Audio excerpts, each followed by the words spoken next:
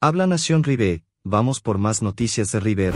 Antes de ver este video suscríbete al canal y deja tu like y activa la campanita para recibir noticias todos los días. Bono, el arquero marroquí que cautivó al mundo en el Mundial de Qatar 2022 y confesó su admiración por River Plate, ha tomado un nuevo rumbo en su carrera.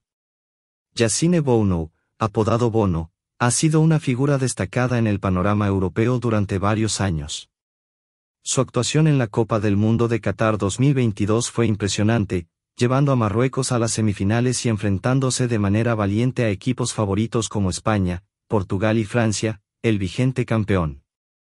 Bono había capturado la atención de los aficionados de River Plate al declarar su pasión por el equipo millonario y revelar que considera a Ariel Ortega como su ídolo.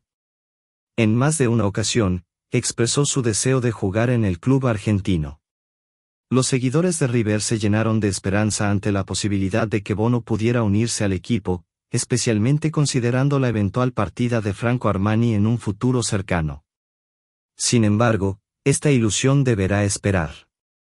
En las últimas horas, se ha anunciado que Bono ha sellado su destino con Al Hilal, un club de fútbol poderoso en Arabia Saudita.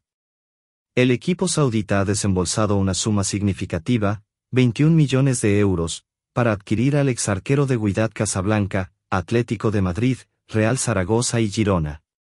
Bono ha firmado un contrato de tres años con su nuevo club. ¿Cuál fue el monto de la transferencia a Al Hilal por Bono? El club asiático ha invertido 21 millones de euros para asegurarse los servicios del arquero proveniente del Sevilla.